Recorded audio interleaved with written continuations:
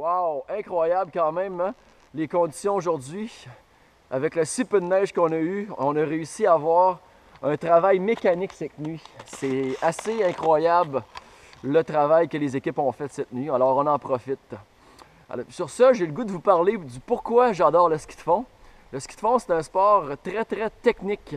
Alors plus on améliore sa technique, meilleur skieur nous devenons. Et euh, ceci m'amène à vous parler de l'importance de prendre un entraîneur pour améliorer justement sa technique. Et je fais un parallèle ici avec le club de ski de fond euh, de l'Outaouais, un des, clubs de, l'Outaouais qui, se nomme le club Skinook et dans lequel je suis un des entraîneurs. Mais euh, mis à part euh, mes entraînements à moi les mardis soirs, il en existe. Le club offre, c'est-à-dire une multitude d'autres d'autres entraînements à part les mardis soirs. Il y en a le matin, le soir, la fin de semaine.